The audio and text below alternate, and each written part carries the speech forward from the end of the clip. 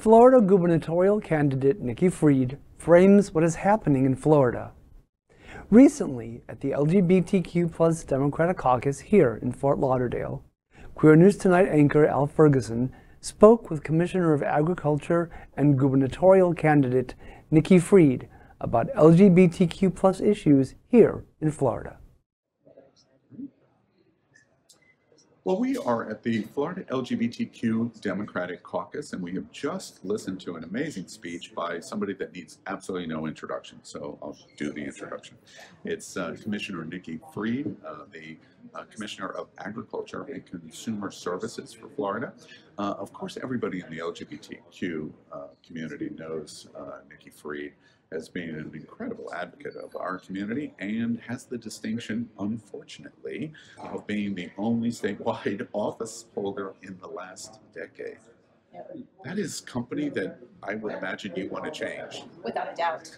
Um, you know, I, I, actually first thought when I first got elected that there was going to be an opportunity that we're all going to kind of work together. Uh, we are all kumbaya, under, kumbaya kind of we're all under the age of 50, had younger families, this new generation. Right.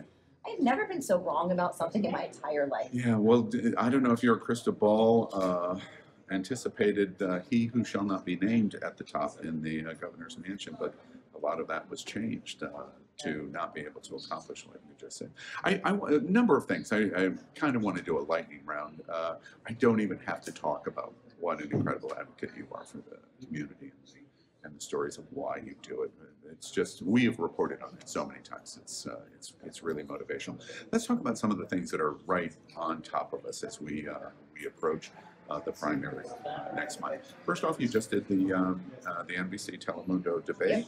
Um, I was thrilled to get to watch a debate in Florida with two principals. Me, too. It was like, it was, oh, it was like dragging. It was like dragging. You know. It, it was like, oh wait, we're gonna we're gonna have a conversation that's important. How did uh, uh, what was the experience like? What did you think uh, uh after action kind of report of the debate? What did you think? Yeah, you know it's uh, interesting. It's the first actual real debate that I've ever done in my life. I mean, I did speech and debate in high school, and I've obviously been a trial attorney, so I've done things like that. But you know, so it was one of those things you kind of have to take it in first. Be like, you're running for governor of the state of Florida. Take in this moment.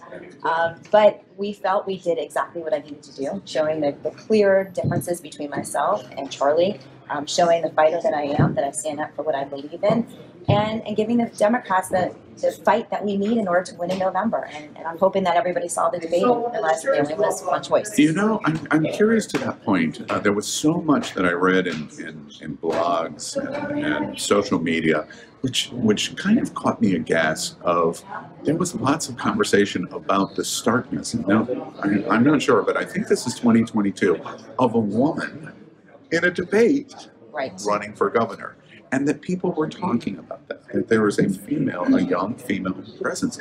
Does that just shock you that even today we're even talking about that? It's heartbreaking that, that this is a part of this still conversation. But you know, but I'm ready for that because look, I'm the first female to ever been elected commissioner of agriculture, not just in Florida, but across the entire southeast. I'm used to breaking down glass ceilings. I was the first female student body president at the University of Florida in almost uh, two decades as well. Um, but yeah, it's, it's, it's heartbreaking that I'm going to be the first governor of our state as a female.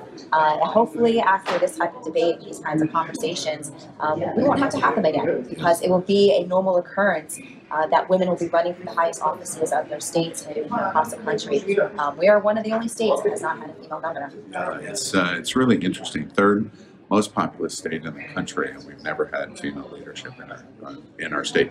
Um, we're going to do a story at Queer News Tonight this coming week about the association between. Fight every day to, to get equal pay.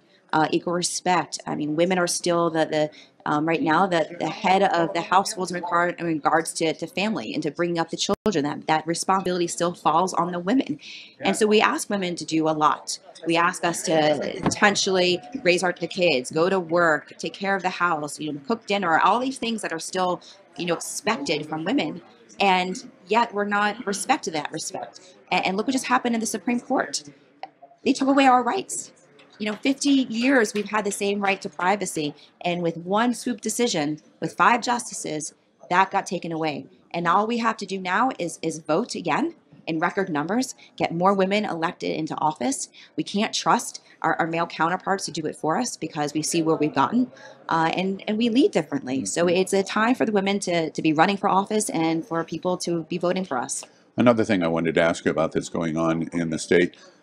Uh, this last week, uh, Liberty Moms uh, comes out of the woodwork, and uh, Governor DeSantis goes and speaks at their conference in Tampa, and the Democratic conference was going on in the same hotel. Very strange. Um, uh, Liberty Moms, but more importantly, um, you know, it, that is what it is uh, in America and in Florida. But um, Governor DeSantis's embracement, it seems like he's just going out of his way to say, uh, this is how I'm going to win not the governor's election, but I'm going to become president of the United States in 24. What do you think about what you're watching Governor DeSantis do in Florida? He, he's dividing our state.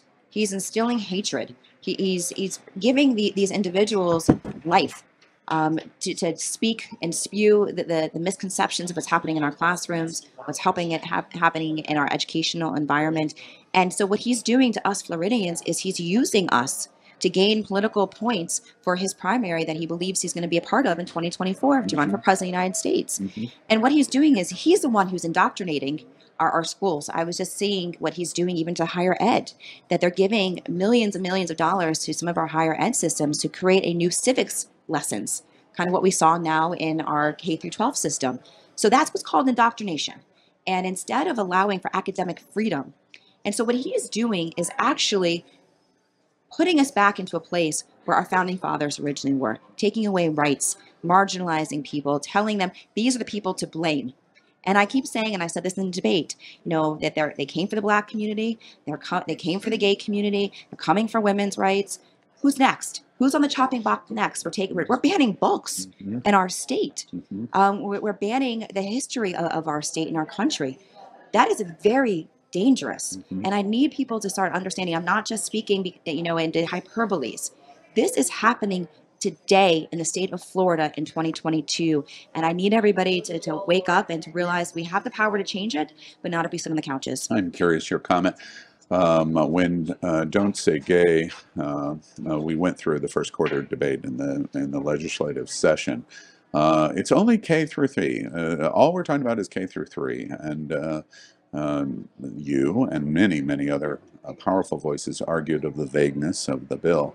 Um, just in the last uh, two weeks, Miami-Dade County Schools and Broward County Schools have donated all of their LGBT themed books to the Stonewall National Museum here in Fort Lauderdale in a preemptive action of what's getting ready to happen on Don't Say Gay. So it seems to me the point is of the creep spread that is taking place here is is clear. Well, what's your reaction about Miami-Dade, which is a very blue school district, and Broward County, which is the bluest school district in Florida, still surrenders to Gay? Yeah, it, it's, it's scary because what's happening is that everybody's become scared of the governor because he goes after people. He, he takes revenge. He, he takes Wait, are we talking about Donald Trump or Ron DeSantis? same person, same person, Right. but that he takes out vengeance. That you know, if you dare speak up against him, he comes after you. Look what he did to those school boards during the pandemic. You know, threatening to take away money, threatening to, to you know to pull people out of their positions, and look what he did to Disney and when he's done to the cruise line industry. Basically, anybody who dares speaks out against him, he goes after. So these school boards are trying to at least do their job, but are scared of you know what are ramifications will be happening from the governor. LGBTQ community hears that observation loud and clear. It's anti-democratic. Um, so we hear you loud and clear. What the dog whistle you're blowing of of your concern here. Do you think the LGBTQ community is listening to you to the degree and the way that your dog whistle just blew? I do believe so. And the reason why I say that is, you know, we we attended either in my official capacity or in my candidate capacity, nearly every single Pride parade in, in the state of Florida um, in June, and even some of the ones that happened. We yelled at you at Stonewall Pride. Yep, yep. Well, man. Yeah. So we, we were everywhere. Um, had staff members or campaign, myself, um, or again in my official capacity. And the energy that was out there, those pride parades, um, the, the people, you know, saying, you know, we love you, Nikki, thank you. You felt that there was a movement happening on the ground, that people were coming out to these pride parades, and it wasn't just members of the gay community. There was gay allies that were out there too, understanding the gravity of the situation as well. Mm-hmm. So I think that the message is getting out there. Uh, we need to continue having it loud and clear, and it needs to not just come from the Black community, or it doesn't need to just come from the Hispanic community, or from the gay community, or from women. It needs to come from all of us because we are all in line to, to lose our own freedoms and democracy if we don't stand united against this fascism and, and this oppressive behavior that's coming from the governor. And everybody needs also understand and remember this too. He only won by 33,000 votes. This is not a, A slam dunk. landslide. It's not a slam And it dunk. is not a slam dunk. There's Florida. 50,000 LGBT voters that didn't come out in the last governor's uh, election that could come out this time, which would win the election. And that would have been that. It would be that. You know, I want to, uh, last thing I want to ask you about is uh, what the national news is. So the House uh, voted on uh, respect for marriage. Uh, were you surprised that 47 Republicans voted yes? Did that surprise you? It should have been everybody voting yes. I mean, this is 2022. There should have been no no votes. I, I mean, every, like this is You do wonder what they're voting no against. Yeah, it, why- it why- protected states' rights. It did everything that Justice Thomas wanted, uh, and 158 voted no. But the, specifically the 47. Any surprise of that? Were you happy with it? Uh, you thought, well, that's a pretty good starting number. What was your reaction? I mean, my reaction is it showed that there was bipartisan support, um, but it should have been unanimous. yeah. I mean, this is we we are in 2022. You know that right to privacy, the right to, to marry who you want to marry, is now on the books, and and, the, and granted, it's on the chopping block in the Supreme Court. But that is the sentiment of the nation. And if any of those elected, 82% are in favor of gay marriage in America. Every poll shows Correct. 80 plus percent. And so I think it's time for America to wake up that your elected officials are going to is going to either Tallahassee or to Washington D.C. and not truly representing you. They're representing their own political ambitions. And so if you have an elected official who is not standing up for you, I don't care if you're a Democrat, Republican, Independent, if your elected official is not standing up for what you believe in, and I say the same thing on cannabis. You know, we are seeing 80% of America wants legalization, and yet we can't get it across the finish line in the Senate. Um, there are so many things that, that, that the country has moved on, even on guns, has moved on, universal background checks, and yet we can't get it accomplished in the Senate. Mm. And I need also people, and I'm going to go on a soapbox for two seconds, Of course. is that what I need people to understand that I get the frustration. I get the frustration that, that the American people have right now that government is failing them, that that are seeing the, the dismantling of so many of our rights. You're seeing, you know, what, what's happening in Washington, D.C., the stagnation. And people want to blame the party in power. You know who's in power right now? Five Supreme Court justices and Mitch McConnell. And, and so if you really truly want change, people are going to have to go out and make sure that the, that the Democrats truly have a majority. We don't have a majority. You know, we've got 50. And unfortunately, we've got two senators um, who, depending on the And- issue, And, I, I want to ask you about that specifically. Coming back to it's going to move, uh, respect for marriage is going to move to the Senate. We may have, it, it, it's going to require 60 votes. Uh, we may have four or five Republicans, depending on who, who you believe so far. Uh, so right now it looks like it's 55 45 and will be defeated. Um, were you surprised this week that uh, Florida's Senator uh, Marco Rubio came out and said it basically was stupid uh, to be talking about gay marriage. That, it, it's not only I'm not in favor of gay marriage, even the discussion of gay marriage is stupid and irrelevant. Did that surprise you, or is that just the talking points you've gotten to expect? the fact that a U.S. senator from a state as diverse as Florida, that is so diverse and has such a huge gay community here in our state, to call it stupid, he needs to be removed from office. I I mean, the fact is that, that Well, there is one way to do that. yes, there is, is a Val Deming getting getting in there. Right. Um, but yeah, it, it, it kind of it, it's it's sad on me in such an awful manner that we have somebody who represents our state taking that type of position. Either he's never talked to somebody who is a member of the LGBTQ community, um, or he just doesn't care. Regardless, that is not how we, the American people, and we Floridians are feeling. And again, he is showing that he does not represent us. Mhm. Well, uh, the two top uh, seats in Florida coming up in the midterms, of course, the governor seat, Nikki Fried, the Commissioner of Agriculture and Consumer Services, running for that seat, and of course Val Demings uh, running for and in primary with Charlie Crist, and then uh, Val Demings for uh, the U.S. Senate seat, and it trickles all the way down, all the way down to school boards and, and judges, uh, etc. Um, the question now is, uh, will the gay community get out there for for these major seats over these important issues? Your thoughts? Are they going to? Well, if we do our job and we come out to the community, we, we show our faces, we show our support, because we need the gay community to come out and vote. Because literally, their lives do depend on it. We still have sodomy on the books in Florida. In Florida. It's shocking. It is shocking, but if we don't understand that that is still on the books, and that if we don't put people in our elected offices that are going to either get make sure that it gets stripped out or it never gets enforced, or we make sure that there's no prosecution, lives are actually on the line.